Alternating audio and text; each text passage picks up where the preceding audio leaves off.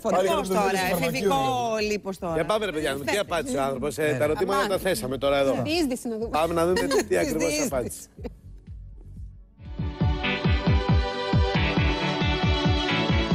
Λοιπόν, Δημήτρη μου, σήμερα είπα στην εκπομπή ότι θα κάνω συνέντευξη στο Βιόρο Άντρα της Ελλάδας.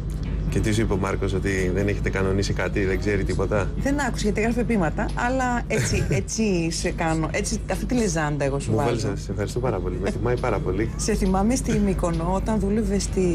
Ήμασταν στη φτελιά. Και σε θυμάμαι που ήσουν πάρα πολύ ευγενικός και καταπληκτικός στη δουλειά σου και παράλληλα έκανες μια φωτογράφηση σούπερ μόντελ στη θάλασσα. Τα συνδυάζω όλα. Νομίζω είμαι ελβετικός ουγιά. Κάνω τα πάντα. Ε, κοίταξε, να σου πω κάτι. Η ευγένεια είναι κάτι που το, είναι το πρώτο εφόδιο που παίρνεις από την οικογένειά σου.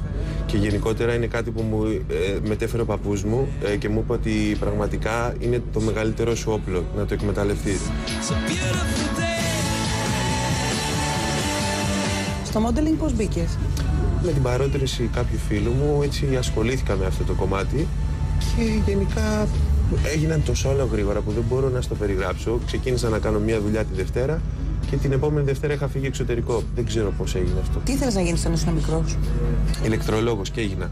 Από πέντε χρονών που, μίλη- που μίλησα, που είδα, είπα ηλεκτρολόγος. Δεν άλλαξα ούτε μία φορά. Δεν είπα ούτε αστυνομικός, ούτε Batman, πώς λένε τα παιδάκια, θέλω να γίνω αυτό. Δεν είπα τίποτα. Είπα Άρα ηλεκτρολόγος. είσαι και χρήσιμος, κάτι Είμαι ηλεκτρολογικά. και χρήσιμος, αλλάζω τα φώτα.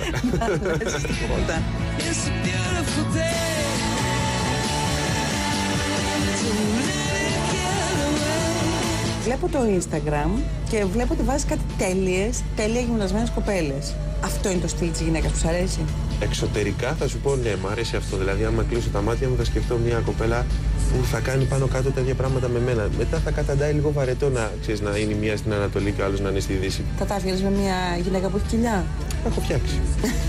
Τι να δυνάτησε. Όχι, τι να δυνάτσα. Απλά είναι αυτό που σου λέω ότι ξέρεις, είναι σαν να σου λέω εγώ τώρα να σου μιλάω για γυμναστική και εσύ να μου λες για τον Μπετόβεν.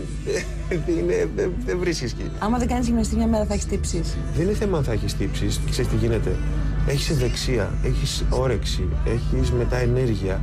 Είσαι σχεσάκιας; Με πάρα πολλές σχεσάκες. Σύριαλ σχεσάκιας. Δηλαδή τα φτιάχνεις τα χαλάς. Σύριαλ σχεσάκες. Κοίταξε, θα σου πω κάτι. Όσο εύκολα μπαίνω, τόσο εύκολα βγαίνω. Δηλαδή, είμαι ε, δύσκολος άνθρωπος, γιατί θέλω τα εύκολα, αλλά τα εύκολα είναι δύσκολα. Σε ζηλεύουνε; Ναι. Με ζηλεύουν, ξέρω εγώ. Γιατί μπορείς να βγάλεις και άκρη. Οι γυναίκες που είναι καριερίστες ε, σ' αρέσουνε; Πώς θα κάνουν οικογένεια; Θέλει να είναι κάθε σπίτι; Όχι, δεν θέλω να κάθεται σπίτι, αλλά όταν μου λε μια γυναίκα που να τρέχει και να είναι καριερίστας, σημαίνει ότι κοιτάει μόνο αυτό. Πρέπει να υπάρχει ένας άνθρωπος που να έχει στο κεφάλι του τα πάντα. Και στις μέρες μας, ναι, είναι σίγουρο ότι χρειάζεται και οι δύο άνθρωποι να δουλεύουν, οπότε αυτό δεν το βγάζει από το κεφάλι σου. Αλλά άμα σου μου πει άλλοι ότι ξέρεις τι, εγώ φίλε, ωραίος είσαι για να είσαι στο σπίτι, να συναντιόμαστε, να κάνουμε ό,τι να κάνουμε, αλλά εγώ θέλω να γίνω μεγάλη. Εντάξει, δεν νομίζω ότι. Αυτός ήταν λόγος μήπως με την Τόνια που. Εσύ θες Κόψατε. εκεί να πας στην Τόνια. Δεν ξέρω, δεν θυμάμαι άλλη γι' Δεν αυτό. θυμάσαι άλλη, θες να Γιατί την ήσασταν πάρεις. ωραίο ζευγάρι Θες να την πάρεις και μόνο. ήρεμοι και οι δύο. Ξέρεις τι Γι' γίνεται. Αυτό. Με την Τόνια χωρίσαμε πάρα πολύ ωραία. Είναι ένα άνθρωπος καταπληκτικός. Είναι αυτό που σου είπα. Εκείνη της έχει άλλα ενδιαφέροντα, έχω άλλα ενδιαφέροντα. Έχει ε, προς, ε, πιο πολλά ενδιαφέροντα προς την κουλτούρα, κοιτάει άλλα πράγματα. Εγώ είμαι ένας άνθρωπος που είμαι απλός. Μμ. Τα τατού αυτά της καρδιάς και ποιον τα έχεις χτυπήσει; Κανένα τατουάζ πέρα από ένα που έχω του παππούλη μου, το όνομά του, δεν έχω χτυπήσει για καμία και για κανένα.